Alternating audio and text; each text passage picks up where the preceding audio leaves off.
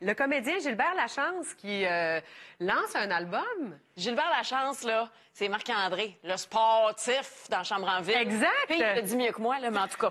Donc, on le connaît d'abord comme comédien. Oui, bien sûr qu'il a marqué là, plusieurs personnes dans Chambre en Ville. Il fait aussi énormément de doublage. C'est lui la voix québécoise de Johnny Depp, de Tom Cruise, Matt Damon, Krusty le clown dans Les Simpsons aussi. Mais il est également musicien, Gilbert Lachance. Donc, ça a toujours cohabité en lui, autant le jeu que la musique. Et pour la première fois, il lance un album de composition instrumentale, originale, faite au piano. L'album s'appelle Cinéma intérieur. On va écouter sa pièce Fougue.